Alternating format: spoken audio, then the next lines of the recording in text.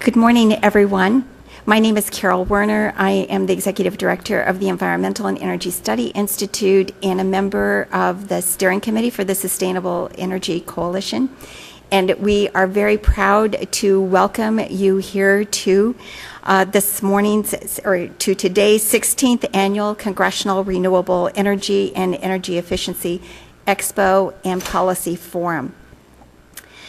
This forum is co-sponsored uh, in conjunction with the congressional, uh, both the House and the Senate Renewable Energy and Energy Efficiency caucuses, as well as you can see on your program as a number of other congressional caucuses as well. And so we are delighted that everyone has joined together in terms of saying that it is very, very important that we really have a better understanding of the enormous um, uh, uh, information that is available uh, to have a better understanding of what really is happening in this country with regard to technology development and how much it is being deployed across this country and indeed across the world. So let's start off our first panel uh, this morning uh, to get an overview, and we're going to hear from speakers with regard to solar, uh, geothermal, and from the overall business side, embracing uh, a look at, at a variety of efficiency and renewable technologies. Our first speaker, Scott Sklar, who's the president of the Stella Group. Also, Scott is an adjunct at George Washington University and the chair of the Sustainable Energy Coalition's steering committee. Scott? Thank you.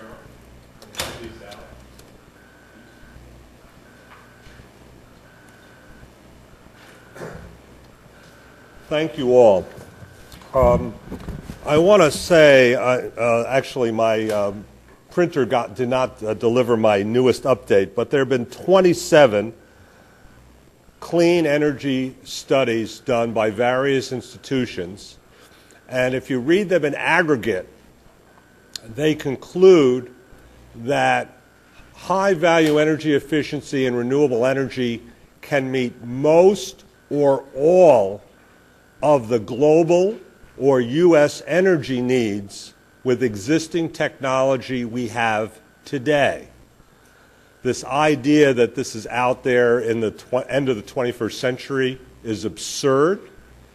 And the issue is in up here on Capitol Hill and in the media, and frankly in many planners and in businesses that I had deal with, we fixate on one technology or another. But actually, it's the blend that gets you where you need to go. The three newest best studies that I like are the Business Council Bloomberg study, which you will hear from, so I will not get into it right now. World Resources Institute puts out the REN 21 study, uh, which is number 16 on this little paper I gave you.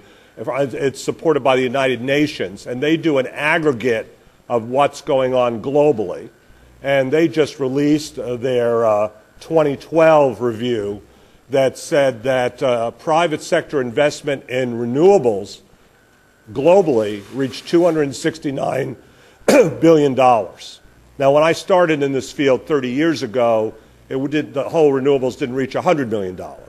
So $269 billion, and that's just private sector investment. If you look at governments around the world, federal and local governments, it's another 817 billion a year. So we're looking at a trillion dollars worth of investment in these clean technologies per year and growing at double digits. The third uh, that's worth your uh, look at is also a United Nations, and that is their Sustainable Development Office, and they put out a study directly. It's called UNDESI, D-E-S-I. And they show globally again that the developing world, and we have 7 billion people on this planet now, one third have no electricity or water, and another third get electricity less than 10 hours a day. And that their conclusions are the only option are a set of high value energy efficiency and renewables. So here's the deal the Institute of Local Self Reliance, number five, on this brochure shows that 36 states in this country can meet most, can meet all of their energy needs with their portfolio of renewable energy resources in the state. And that the other 14 states can easily be powered by the overages uh, from these other states. And even the worst state can meet about 30% of its electricity needs. Uh, so it's, it's pretty astounding. So here's the uh, one 10 second nutshell on these studies. Oak Ridge National Lab shows that waste heat and combined heat and power it can meet 8% of our electricity needs. This is, remember, I want you to think about something. What does nuclear and natural gas and coal and heavy oil all have in common? They create steam to generate electricity. Here we're dumping heat into the air from industrial processes. Why would we not want to take that heat and make electricity? It's, it's free heat, no emissions, 24 hours a day, by the way. Water energy, the EPRI study, 10%. These are, by the way, all conservative. I picked the lowest numbers in these studies. By the way, most people live next to water, either on rivers or near the ocean. MIT study, geothermal, 10%. Uh, uh, combined lab study led by Oak Ridge biomass, only waste, not new crops, not food like corn, just waste. Biomass can meet 20% of our electricity needs sustainably. By the way, electricity and thermal needs. Um, Sandia and a combined land study, concentrated solar power, heat from the deserts. So this is using the thermal side of solar, 10%. Uh, Navigant, rooftop photovoltaics and solar thermal, 12%. And then National Renewable Energy Laboratory wind, 20%. By the way, if you add all that up, it's more than 100%. And that's the point. And these are the most conservative numbers not the high end numbers. So I want to leave you here with a couple of thoughts. First of all, there's a lot of prestigious institutions that say the portfolio can deliver now. Secondly, the resources we have, the United States in particular, is resource rich in renewable technology. As the American Council on an Energy Efficient Economy can tell you, another great nonprofit here, that we can reduce our load within five year paybacks by 20% with high value energy efficiency. I have a zero energy home. I have a zero energy office building. I just finished a zero energy, a self generating building at the Washington Navy Yard. What we were able to do is reduce the loads of these buildings by 55%. So then you need less to power them uh, with, the, with the renewable technologies I have on board. And by the way, those two buildings are all a few minutes from here, so if anybody wants a tour, come to my table. I also want to remind you that renewables, you know, there's this view that renewables are intermittent. Well, of the five, geothermal, water, and biomass, they're not intermittent. They're 24 hour power. Solar actually is your perfect midday power source. That's when we use more power. It is nonsense what I read sometimes that it costs utilities more. No, in fact, they have to bring in higher cost electricity midday or turn on their older, less performing, polluting plants midday or wheel power in from some other utility midday. And when the sun's hotter is when you need more power. When it's cloudy, you need less power. It's naturally compatible. So, and what we're seeing with wind in terms of driving down cost on land, and it will be less cost and for longer periods offshore, we will have a set of solid solutions.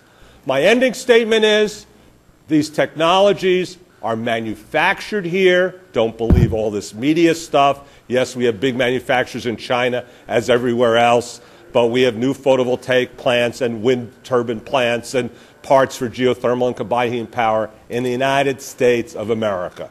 So don't assume that it's all being imported. It is not. So thank you very much. And again, please come to the Stella Group table. Happy to answer any questions. Or take my course at GW.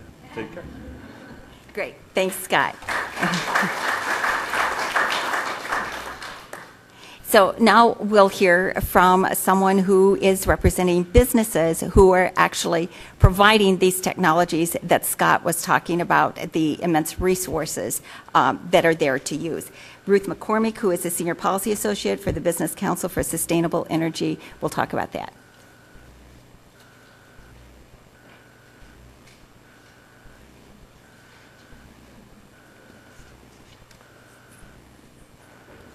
So I have a visual. Carol's going to help me show. I know no PowerPoints, but I did bring a visual. We think this tells a very compelling story, and what I want to do today is talk a little bit about the Business Council for Sustainable Energy and some of the work that we've been doing recently that will um, provide information about the impact that these clean energy technologies have been having on the U.S. economy and on the energy sector.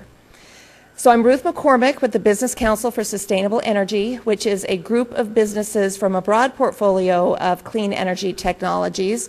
We include a broad portfolio of renewable energy technologies, hydro, wind, solar, geothermal, fuel cells, biomass. We also include energy efficiency companies and associations and also natural gas. And together these businesses have been working together on policy development for over 20 years which we think is a very strong story in and of itself, the fact that they've been partners for that long. In commemoration of the Council's 20th anniversary, they had a report commissioned by Bloomberg New Energy Finance, which is a leading market research firm, the purpose of which was to provide an updated market report on really what was going on in these business and energy sectors with these technologies as Scott was saying, that it's not just one technology that's really having an impact, but to get a real understanding of what's going on in the U.S. energy system, it's important to look at this suite of technologies. So we were finding that people tend to silo their look at these industries, and they might know a lot about wind or they might know a lot about natural gas, but they didn't necessarily know a lot about fuel cells or biomass or, or hydropower. So it was important to provide, for policymakers in particular, the most up-to-date information about really what was happening in the market.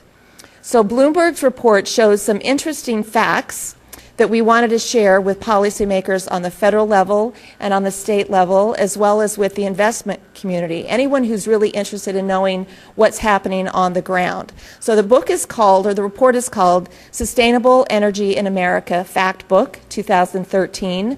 This is an infographic which, again, visually displays some of the key findings of the report. I have some of these displayed on the table outside the room here, and we also have a table inside the expo if you want to get those copies and some other information.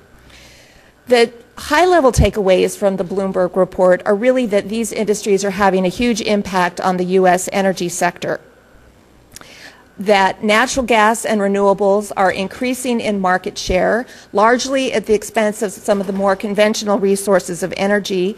And one of the key reasons for this is the steep decline in the cost of these technologies. Um, the report itself looks over the last five years, so between 2007 8 timeframe to 2012. Some of the key findings are that on the electricity production, that installations of renewable energy have doubled between that in that five-year period. Wind had a record year in 2012 with 13.7 gigawatts installed, and oh, I'm sorry, I think yes, that's correct. Um, solar energy is also up. I'm trying to find my figure on solar energy. Renewable energy itself in total has grown to 12.1%. Uh, natural gas also had a banner year. Um, it's up 22%. So it now provides 31% of energy, electricity production in the United States. And together, renewables and natural gas now um, provide 57% of U.S. electricity production. So that's a pretty dramatic change in the electricity sector. Um, and again, the key cost for this uh, increase in these technologies is the declining cost of the technology. So solar, the cost of solar has dropped from 31 cents to 14 cents per kilowatt hour, and wind has dropped from 9 cents to 8 cents. On energy consumption, there's also an interesting story that the Bloomberg report has found, and that is that despite a slight increase in the gross domestic product over that five-year time frame, that energy use has declined by 6.4 percent. So everyone attributes that decline, or a lot of people contribute that decline in energy use to a depressed economy because of the Great Recession.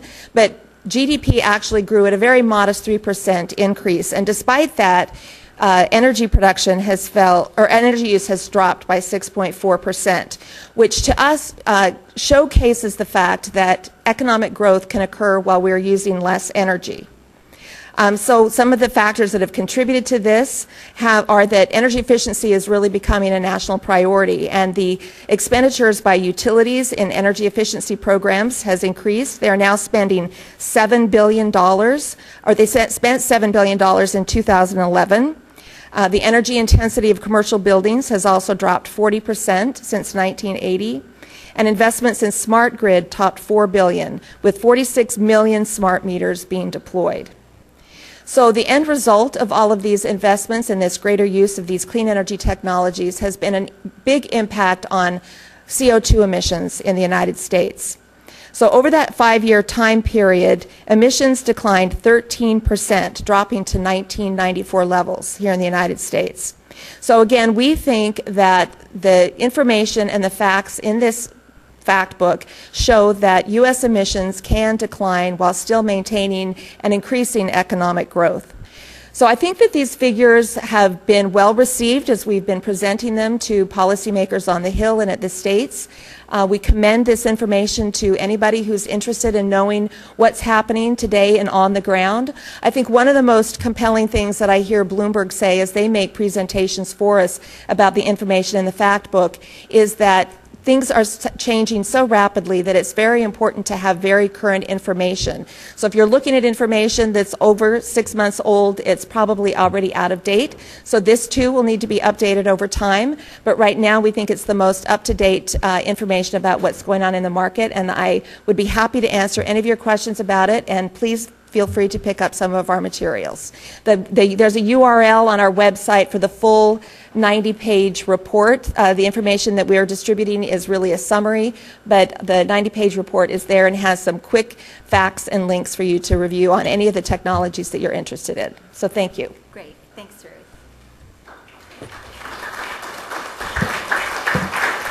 And, and I really do encourage you to look at the fact book. I think you'll find it very, very interesting.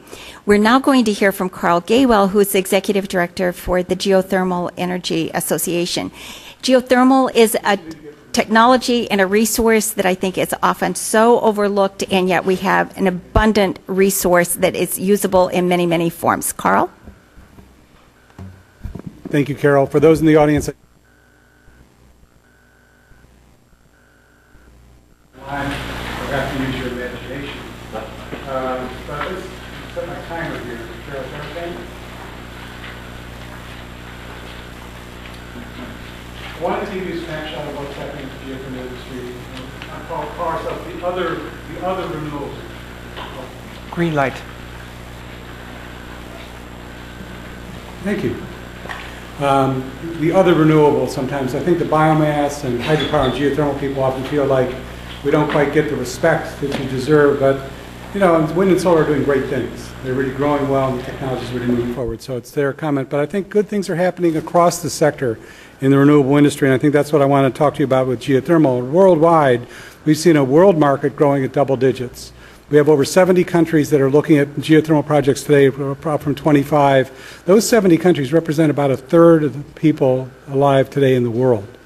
So, I mean, the resource is already being exploited in very, very large areas. In the United States, we're actually a little bit behind that curve. We're looking at sort of single digit growth rates last year at about 4.5%. Uh, but the U.S. has maintained a strong technological lead in this whole area because we've, I think, in, in part, been one of the leaders in it since the early 60s when we first started projects in the United States, but also, frankly, our resource isn't as good. Now, the good news about not having a resource which isn't as good as, for example, Indonesia or East Africa's is the U.S. companies, to develop the U.S. resource, have learned a lot of new technology and new techniques. And I think are viewed as some of the premier companies around the world. And I think Ex-Im and OPIC and others have supported U.S. companies working in almost every continent except Antarctica at the moment. There's a little growth chart in the pack you just see, and you can see the slope of the world market growth is significantly nicer than the U.S. growth. But the U.S. has not been uh, not moving forward. Since 2005, we've seen a renewed growth in the U.S. geothermal industry.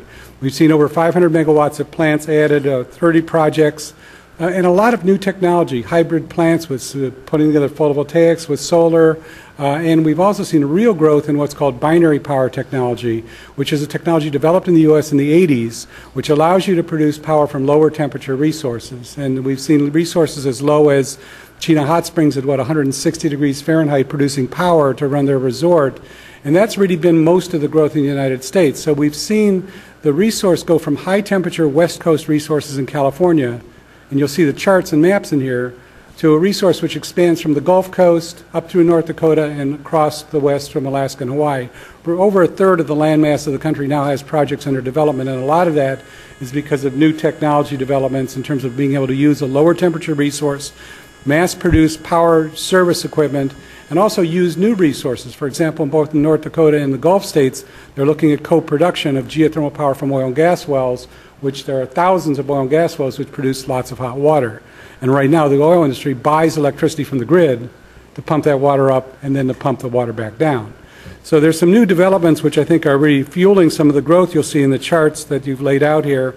And um, you can get a lot of this more detailed information. We have a booth here at the GEA. We have an international market report which looks at what's going on around the world. We also have copies of our, our annual update. Every year we put an update that shows where the projects are, who's developing them, what's their stage of development, and those are available as well at our, at our booth. Um, but I guess since this is the policy forum, I should talk for a minute about where we could go. I mean, the USGS did an estimate looking at the U.S. resource potential. We show something around 10,000 megawatts of identified sites where we know there's resource that have not been developed. The USGS said there's somewhere between 30 and 80,000 megawatts still out there of conventional systems. This isn't EGS or advanced technology. The problem with it is most of them we can't find. We don't, have, we don't use and have the same kind of technology the oil and gas industry as we're a very small industry, but there's a lot of techniques which are just being used, utilized from the oil and gas field in the geothermal field. And our hope is that if technology can reduce the risk of finding and producing from the subsurface, the surface side is pretty easy. As Scott said, you know, you're basically boiling water and turning a turbine. We're bringing hot water out of the ground. The problem isn't dealing with the water, the problem is finding the resource under the ground. But if technology could be developed to help us reduce the risk, that would make a big difference because what holds us back? Single digit growth, could it be double digit growth? Well, one is the high risk of resource. I mean, we're talking about projects which, you know, you might spend $10 million on a well, maybe more. And I've, I've, been told by some of my company finance officers it doesn't take too many $10 million dry holes to discourage investors. So it's high risk, and yet you don't have the same return as if you're drilling an oil and gas well. You drill an oil and gas well and you hit the resource, what do you got? You've got money in the bank.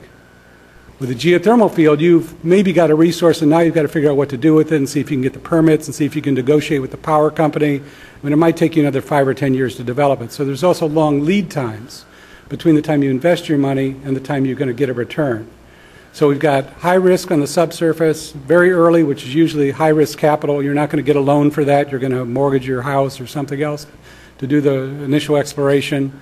You've got longer lead times than there's, there, there need to be. And often we're finding ourselves fitting into regimes that were really built for other vehicles. For example, the production tax credit. We love being in the production tax credit. It's helped spur industry growth. But the production tax credit really does work better for projects which have much shorter lead times than projects which take five to seven years to build. I mean, Congress just passed a big change for us. The under construction rule makes geothermal projects much fit better in the production tax credit. But when you had a credit that was being extended one or two years at a time, with an industry that takes five years to build projects, it was a bit of a mismatch. So the, the, the, incentives have been there at the state and federal level, but often they're not designed with since geothermal in mind. And lastly, technology. We're just starting to see some of the subsurface types of technology, like uh, horizontal seismic work, which is done in the oil and gas industry routinely, is brand new in the geothermal industry. And how that images heat in, in the rocks and fissures in the rocks is still something we need to learn to do. There's a lot of room for technological improvement, but the support for that has been very, very minimal. You can see there's a chart of the DOE research budget in your, in your packet. Up until 2008, 2009, it was barely enough to cost share one exploration well. So you don't get very far doing that. In recent years, they've had a very aggressive program. We, in fact, the industry, I think, is really thrilled with their new program manager, Doug Hollett, who is, for 20 years, was the head of the uh, uh, unconventional oil and gas resource division and exploration division at Marathon Oil. And he's bringing a lot of that expertise to him to apply to the geothermal field. We think with some continued work, continued support to grow out the industry, we could be see the U.S. industry in double-digit growth rates just like the world industry. So uh, at the moment, I would say we're seeing strong growth. Whoop, my timer tells me I'm done. Uh, around the world, we're seeing the U.S. maintain a strong export role in East Africa, Indonesia, and elsewhere. Uh, it's a great, it's great to feel like you're a leader in something. And around the world, the U.S. is viewed as a leader in geothermal, and we want to see the U.S. market catch up to the world market in the next few years. So thank you. Great. Thanks, Karl. And I hope you all realize the enormous uh, wealth of, of information and experience that is in this panel. And please make sure that you uh, follow up at, in the expo with their exhibits and, and have further conversations. So we will now turn to Mike Hartley, who is the Director of Structured Finance with Standard Solar Inc. Mike?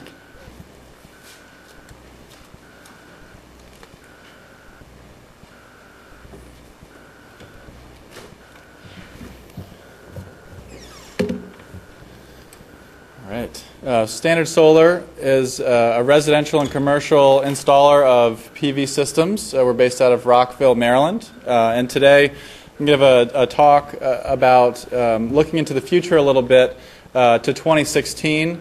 as some of you are probably aware, the solar industry has had a great success story, a great growth story over the past several years.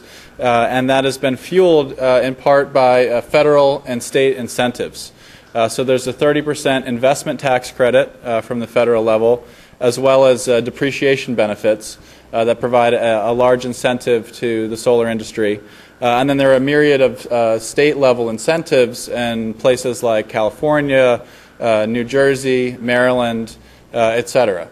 and, and those state level incentives at this point make or break a solar project from a, an economic perspective. Um, uh, but looking into 2016, we see that the investment tax credit uh, is going to be reduced from 30% to 10%. Uh, and so uh, this begs the question, you know, are we on the right path to uh, reducing costs to, by 2016 to create a sustainable industry? that we can con- continue the success story without substantial federal incentives and also without state incentives.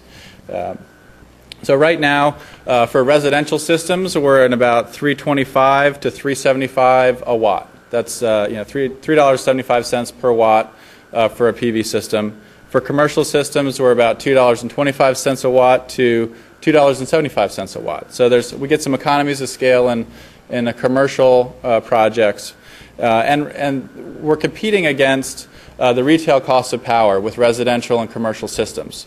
Uh, so we're using a policy called net metering, which allows us to essentially run a, a business's electricity meter backwards uh, at times when we're producing electricity, provide them a bill credit.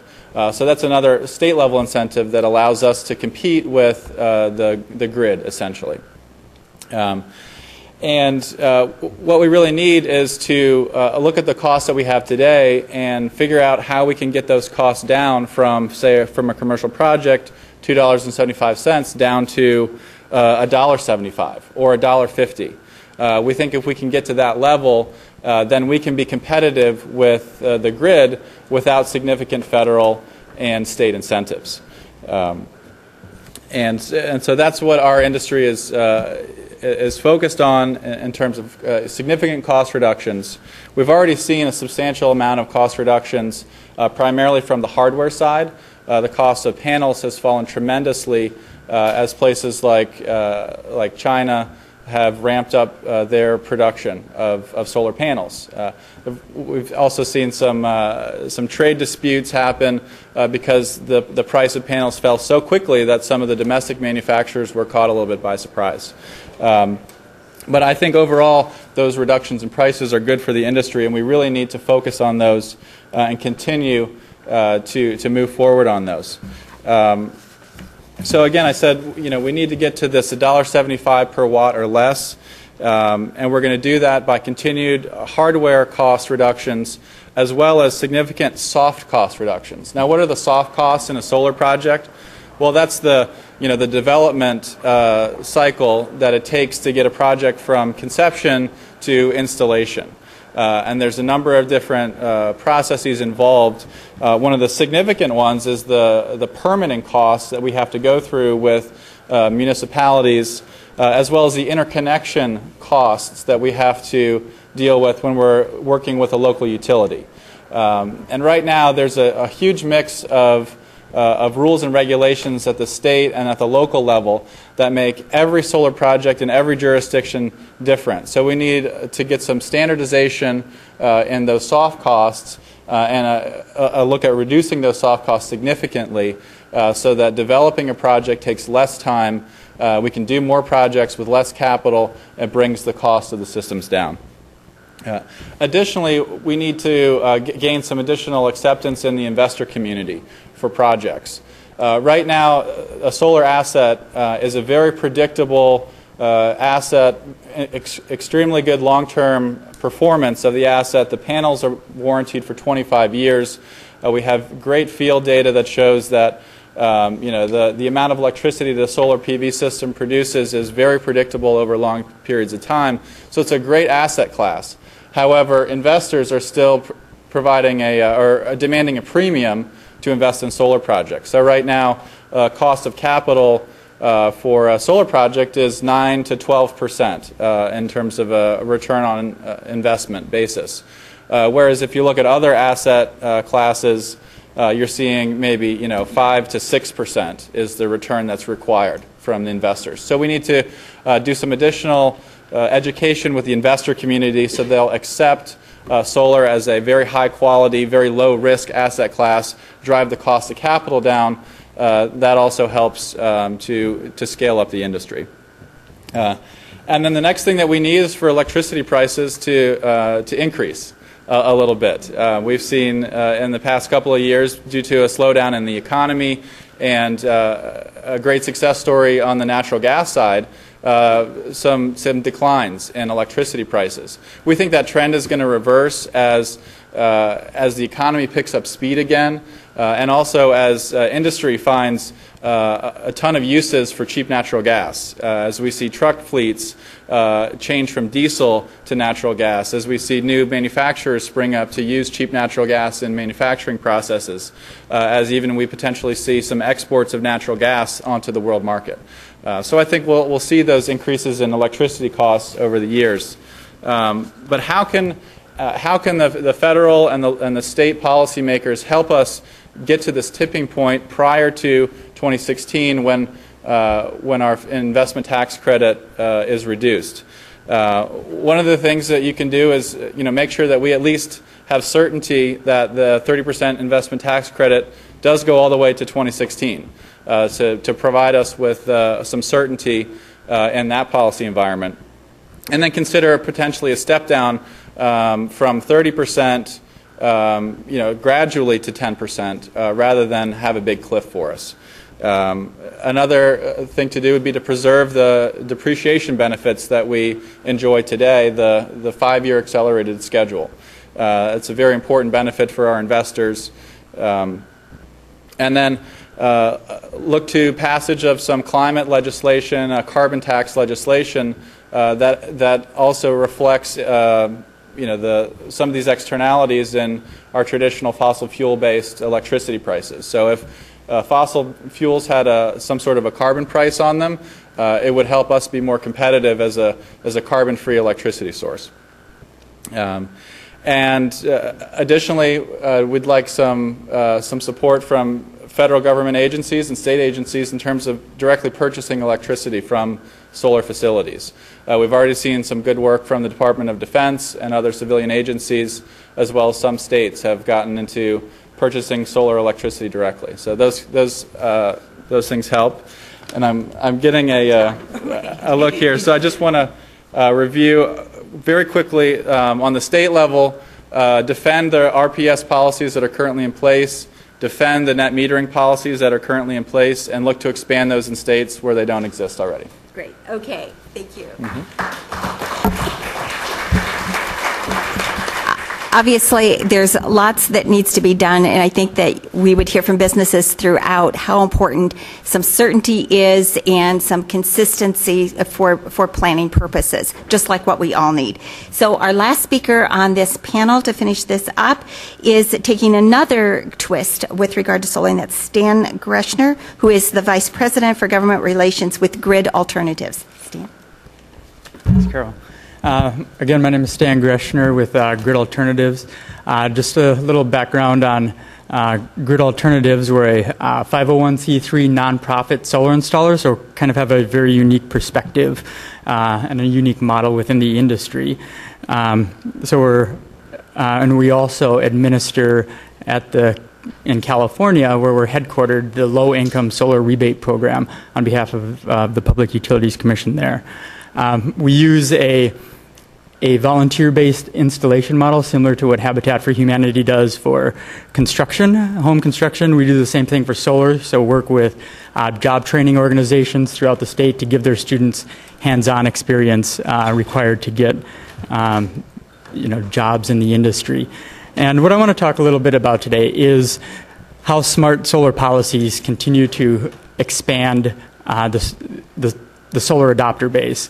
And we had a very interesting conversation in California uh, last year about um, you know California's solar programs and who they were benefiting.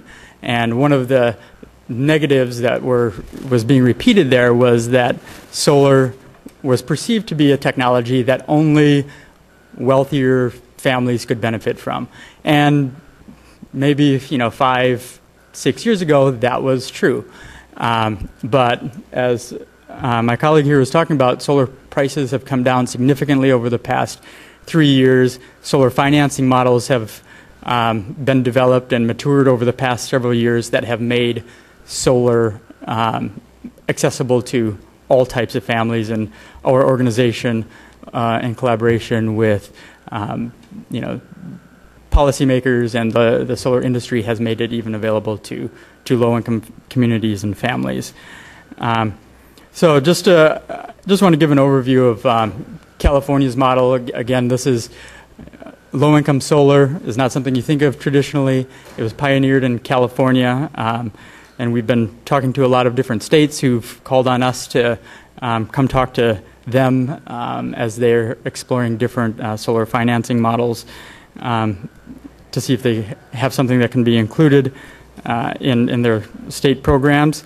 So it's, you know, when you talk about low income solar, inevitably you have to think creatively. It's not something that you've likely discussed in the past. So, and it's not a, you know, a model that the general market can easily transfer over to the low income solar market. So in California, we have an energy efficiency component um, that, you know, we've talked about in the loading order of most important things to do first is reduce the consumption at the, at the household level and then install a solar system um, that is based on you know a, a lower load. Uh, there's a higher incentive for low-income families. We have the workforce development component. Again, this is a value to the the, indus- the whole solar market, the whole solar industry in California, um, to develop a trained um, workforce, and through the low income program, the state is, a, is achieving that in part. And of course, having more community engagement and community education by getting folks like yourself out on an installation up on a roof to um, help install solar and actually touch and feel the technology and see that it's not a space age thing that you know is not accessible to you. Anyone can do it, and it's a fairly simple technology. There's two major components panels, an inverter, and then a bunch of wires. So, I mean, you need trained pros, to, professionals to do it, but um, it, it's not that complicated.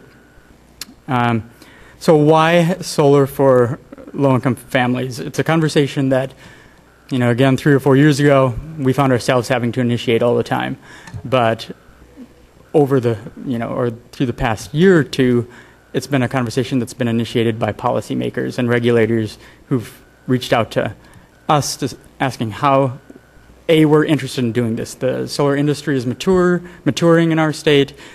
You know, we've have the early adopter base covered. How do we continue to expand uh, the accessibility of solar to other market segments, including low income, renters, others who might not traditionally have um, be able to you know purchase uh, panels for for their roof space. Um, so for the low income side, you know, there's um, the economic returns are much better for low income families than um, general con- consumers because they pay a higher proportion of their take home income on energy needs. Um, so by reducing their energy costs, they really have a significant amount of um, money back in the home that can be used for very important, um, you know, food, clothing, education for their kids. Uh, there's an environmental justice component. Um, the where power plants, traditional power plants, sited often in low-income communities. Uh, in California, you know, there's higher rates of asthma in these areas in children, so there's certainly an environmental justice component to ensuring there's equitable access to solar energy. Uh, on the job side, again, this is one of the fastest growing uh, segments in in California or any state that has strong uh, solar policies.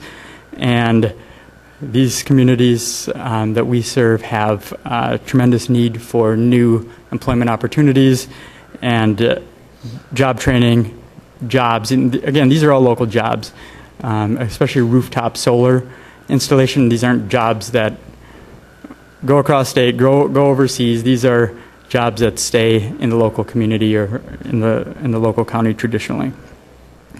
Um, and it moves the conversation beyond the early adopter um, phase that you know solar is not just for an elite group of people but hey if we have a low income solar program we're highlighting that it is accessible to to all types of families um, so as my colleague was mentioning you know there's a, a lot of um, on the policy side, things that make uh, solar programs successful, which are uh, the same for, for low income. It's still a, a, new market segment that we're trying to reach, so does continue to need price support. So, a dedicated budget or um, some sort of incentive or rebate structure that can be leveraged by low income families. Unfortunately, the ITC that you're talking about, you need a high credit score or you need tax liability that takes advantage of that 30%. Low income families traditionally don't have that. Um, so we do our best as a nonprofit to fundraise for that gap that um, other families might have um, available to them. And, you know, there's a, a long term vision for solar. Is this a, um, a technology that we want to see grow and expand and um, be inclusive of all communities, all families? Um, and so that long term vision helps propel, I, I think, the industry forward. And so, as you know, we've been talking um, to other states. You know, we've have a strong California presence. Um, we've spoken to Colorado, who in their solar gardens program um, have a f- set aside for low income. We're talking to um, folks in New New York right now um, to include something in, in their programs that they're discussing. And of course, we do a lot of work in tribal areas throughout California. And a few years ago, we had a discussion with in DC here, and with the DC Sustainable Energy Utility. And just last year, they installed a bunch of, or several community solar projects in wards seven and eight here in, in DC, um, which are low income uh, wards to, to really pilot a low income program here. So solar is becoming more available uh, to consumers, and on the policy and regulatory side, um, you know, if in DC, I know a lot of you are probably renters, and you say, I can't go solar. Well, there's, without the right policies in place and support from utilities, it's a challenge for you to go solar. But with solar, community solar gardens or shared solar programs, and I don't know if Standard Solar works with sh- shared solar developments, but that would be a, a development where it's based in your local community that you can buy a share in this bigger bigger system. So these are the types of policies that move the whole you know industry forward to include more participants. So um, I think the goal is to continue to expand the market base, and you know those of you involved in policy, energy is still a very policy and regulatory driven environment. So um, all of that happens here. So if you have any questions, we have a, a booth out in the exhibit hall as well, so we're happy to, to meet with you out there. Thank you. Great, thanks. And of course, there are lots of opportunities, as you have heard, and uh, we're dealing with a very unlevel playing field in terms of looking at renewables, but developing the market, developing the interest and awareness, and consistent policies is all part of making everything work. Uh, and the more we all know, the more we can do.